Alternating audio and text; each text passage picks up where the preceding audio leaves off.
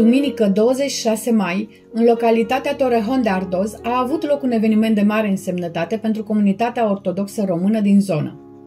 Începând cu primele ore ale dimineții, enoriașii s-au adunat pentru a participa la slujba de sfințire a terenului destinat construcției noii biserici ortodoxe Sfântul Pantelimon.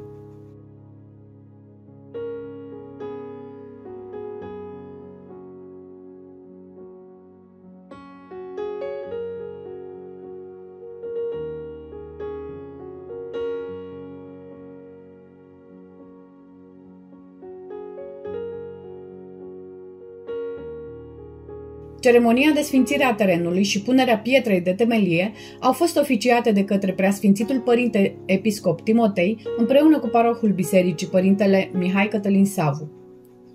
La acest eveniment important au fost prezenți și reprezentanți ai ambasadei și consulatului României la Madrid, precum și primarul orașului Torrejon de Ardoz, Alejandro Navarro Prieto, cel care a semnat actul de concesiune al terenului pentru construcția bisericii. Într-o atmosferă solemnă și plină de emoție, cei prezenți au participat simbolic la începutul lucrărilor de construcție, fiecare adăugând câte o mistrie de ciment la temelia noii biserici. Slujba de sfințire s-a încheiat cu punerea pietrei de temelie, moment ce marchează începutul oficial al construcției. Preasfințitul Părinte Timotei a acordat diplome de excelență primarului Alejandro Navarro Prieto și părintelui Mihai Cătălin Savu, în semn de recunoștință pentru sprijinul acordat comunității românești. După această ceremonie, enoriașii au continuat să participe la slujba de duminică, menținând atmosfera de sărbătoare și comuniune spirituală.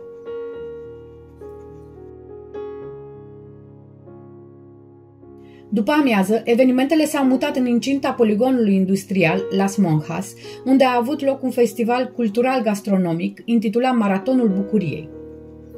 Organizat de Asociația Rumanos Juntos și Carmangeria Românească, evenimentul a început cu o binecuvântare și cuvânt de mulțumire din partea părintelui Mihai Cătălin Savu. Atmosfera de voie bună și bucurie a fost întreținută de o serie de artiști români, printre care Ileana și Ion Paul și Ioan Marcu, care au încântat publicul cu muzica lor.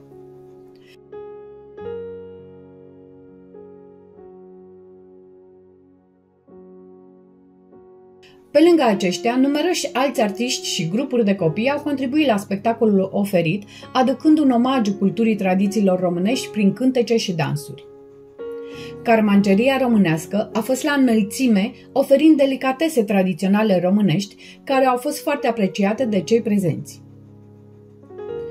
Oaspeții au avut ocazia să savureze mâncăruri autentice, bucurându-se de o duminică specială, într-o atmosferă ce a combinat perfect spiritul comunitar și tradițiile românești. Ținând cont uh, de evenimentul de azi, spun, ce să spun, uh, ne bucurăm că se reușește și în Zaragoza să uh, venim și cu mm, religia noastră, să, cu, având credință și suntem mulți creștini, să facem aici o biserică. Cu ajutorul primăriei, sprijinul sponsorilor care astăzi s-au adunat și ei în jurul nostru, se pare că acest vis se împlinește și ne bucurăm pe partea asta. Pues hoy es un verdadero placer encontrarnos en lo que va a ser el futuro espacio que acogerá la Iglesia Ortodoxa de Torrejón de Ardoz, esa iglesia de, la parroquia de San Pantalimón. En Torrejón de Ardoz para nosotros es un verdadero orgullo que por fin el pueblo rumano, después de más de 15 años peleando por tener este espacio, hoy hayamos colocado esa primera piedra, hoy hayamos bendecido este terreno para que sea un terreno muy próspero donde todas esas familias pues, puedan desarrollar sus proyectos de vida de una forma más, más cómoda, más cercana a su iglesia y sintiendo su casa, la ciudad de Torrejón de Ardoz, igual que han sentido el lugar del que han nacido en Rumanía, que por fin hoy estén aquí en Torrejón y tengan ese el hogar al que llamar hogar y encontrar a Dios con ellos. O zi minunată, pur și simplu. Uh, încă sunt copleșit de emoții. Uh, chiar vreau să vă propun, nu ar fi mai bine să plâng decât să vorbesc.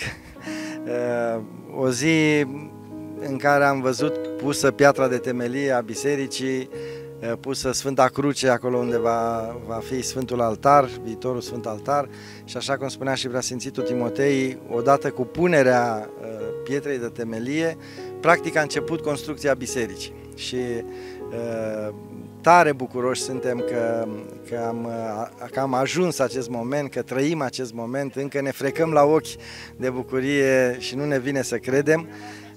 Dar Sfântul Pantelimon tămăduitor și mare făcător de minuni și miluitor, uh, a făcut încă o dată o, o, o minune cu noi și ne-a adus în această zi a bucuriei. Spuneam că suntem abia la jumătatea zilei pentru că uh, după ce am încheiat partea aceasta duhovnicească, Ehm, ne mutăm cu toții spre a ne bucura românește vis-a-vis -vis în eh, poligonul Las Moncas, unde vom avea parte și de un spectacol și de o gastronomie românească și, în primul rând, de bucuria de a fi împreună, de a ne, de a ne îmbrățișa, de a ne zâmbi, de a ne arăta că, ne, că, că e doldorat sufletul de bucurie, burdușit de atâta, de această, de această veste care a venit, o ce veste minunată am, am fi cântat dacă ne-am fi aflat la, la, la Crăciun, dar lucrurile așa stau și acum. Dumnezeu să vă binecuvinteze pe toți, Sfântul Pantelimon să vă ocrotească și să vă ajute și uh, suntem convinși că toți prietenii Sfântului Pantelimon, nu numai din parohia noastră și din alte și din Spania și din uh, țară, mai ales din România, vor, uh, vor, uh, nu vor rămâne indiferenți la, la nevoile noastre care vor veni în perioada următoare. Dumnezeu să vă binecuvinteze, Hristos a înviat și la mulți ani tuturor prietenilor Sfântului Pantelimon, tuturor românilor, pentru că astăzi, iată, coincidență, este și ziua românilor de pretutinde. Sfântul Pantelimon să vă poarte de grijă tuturor. Amin. Evenimentul de ieri a fost o dovadă clară a unității solidarității comunității românești din Spania.